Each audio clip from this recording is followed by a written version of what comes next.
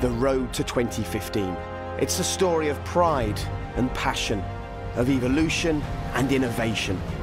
The road from success today to greatness tomorrow. This is the road to 2015. After months of design and development, the new car is nearing completion. Hard labour from everyone involved, but a labour of love. In this final episode, we'll witness the push to prepare the F1 W06 hybrid for its first outing in the real world. We put all the pieces of the jigsaw puzzle together in, the, in basically almost the last few days before it runs for the first time and send it out the door. It's getting all the parts in the right place at the right time with the right people to do the correct job. So this is our job list we've got to work through pit equipment wise. Most things will be in over the next couple of days and we can get on with building everything up. Every day there is a sub-target, there is a sub-task everything is properly planned from now to the first race. Silverstone will just be the basic run out, I guess, and then I think for Jerez we're, we're planning on trying to get the miles in as early as possible. You know, we haven't got absolutely all the, the bells and whistles in terms of the, the car setup. It's such a big thing these days. It's grown from being you know, a, a, few blokes in a shed almost 20, 30 years ago to what it is today. It's a big operation now.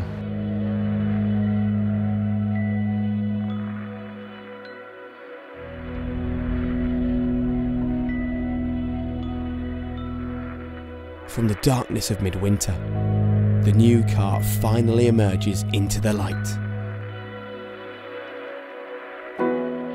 All those dreams, all that expectation. This is Mercedes' hope for the future. Time to put it to the test.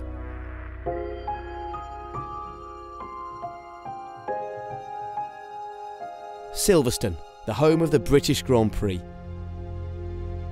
A place of memories, great sporting moments, and now the first outing for the F1 W06 hybrid. Oh, it's a big day for everybody. Um, all the engineers and mechanics, you know, who have been putting so much effort into it, to now see their creation do the first kilometers on the track, you know, and their creation where they hope is going to be you know, the best car in the world again in F1. Um, I think that all gives them such a, such a boost and such a great moment.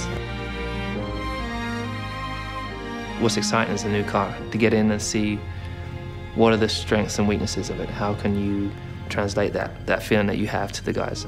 So I'm massively excited about that part and let them know, hey, I'm here, I'm ready to go again. I'm excited to see it. What does it, you know, what does it look like? Does it look fast? Does it look great? uh, and then to get the first, you know, driving impressions, uh, how it handles and, and all that. So uh, track temps pretty cold out there. It's uh, down at four degrees, so do take it easy out there.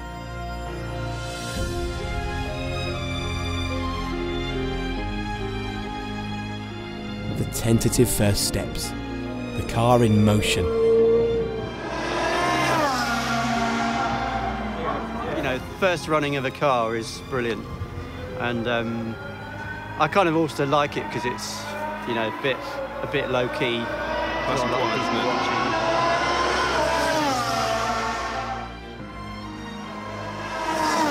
No matter what the weather in England, whenever you come here, it's absolutely freezing. So and you think, oh, it must have been the coldest winter day of the whole winter, and you go back and it's like, no, it's just a normal day, you know. it's the glamour of F1. 48 hours ago, we thought we wouldn't be here, so I've done really well to recover it. From last Sunday, we had a program that required 24-hour working of the car to get here. So when we lost 36 hours due to an issue, there was, you know, there's no headroom for that. But somehow we've recovered it. So it's brilliant.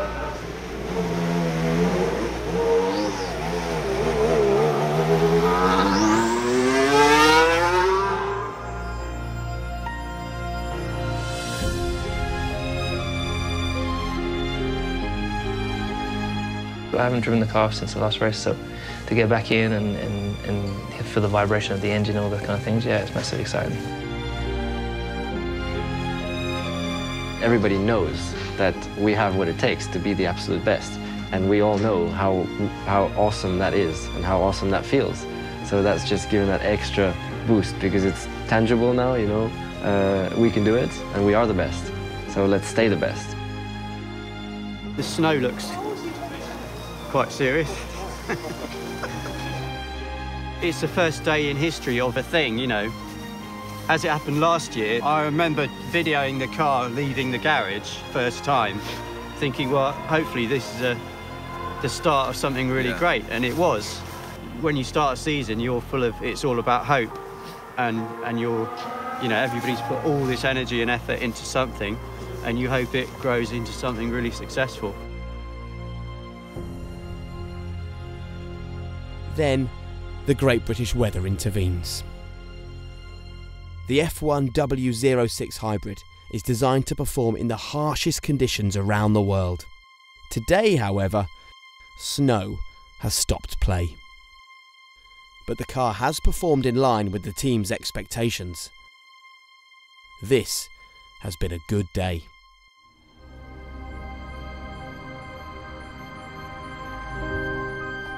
Jerez, Spain. Now the pace moves up a gear. At the first pre season test, the car will be scrutinised at speed in the company of the opposition. We need to expect all of the other teams to do a great job in the winter, you know, so we need to keep an eye on them. And uh, the usual rivals are Williams, Red Bull, Ferrari, McLaren, and maybe there'll be some other surprises. It's always exciting going back to back to a racetrack um, because this is why we are doing it, and we all enjoy being here. And this is the start of yet another journey. This is the beginning, the first of a dozen days of testing. But every second of every lap is valuable because in a matter of weeks, Battle will be joined at the first race in Melbourne on the other side of the world. Only then will their rivals show their hand. The question's on everyone's lips. Can the Silver Arrows win again? Will all that effort be rewarded? And have they done enough? Of course, I want to win. You know, that's that's the goal every year. I, I can't think of any other engineering occupation that every two weeks you can turn the TV on and see how you're doing. It's hard to put into words when you win a Grand Prix. It's very, very special. By the end of the first test, the F1 W06 has completed 516 laps, more than any other car. This chapter is coming to an end, but the story goes on.